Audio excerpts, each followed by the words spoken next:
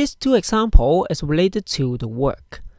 So you can see there is a force and the displacement of the block. So what is the work done by the applied force?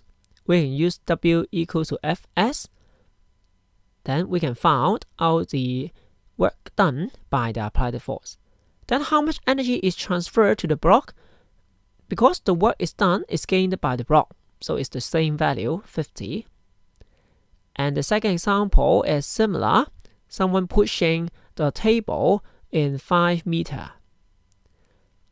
So find out the work done on the table by the student. We can use W equal to Fs. In this way, we can find out the energy is 100, which is the work done on the table. Then what is the energy change? We have learned it in junior form.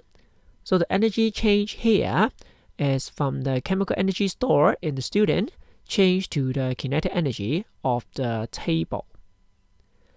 Sometimes this kind of question will also appear in the DSE